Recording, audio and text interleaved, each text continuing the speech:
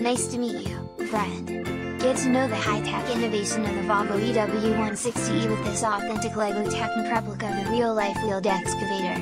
This detailed model, developed in partnership with Volvo Construction Equipment, has been designed to provide an immersive and rewarding build and play experience and features an advanced pneumatic system for operation of the extendable boom and working bucket. Manual features and functions include a detailed, height adjustable cab seat, armrests, sun visor and adjustable mirrors, rotating superstructure, rear-controlled front steering, working front blade and extendable outriggers. Upgrade with the 8293 LEGO Power Functions motor set for a fully motorized boom and working lights. This 2-in-1 model can be rebuilt to create a Volvo L30G compact material handler,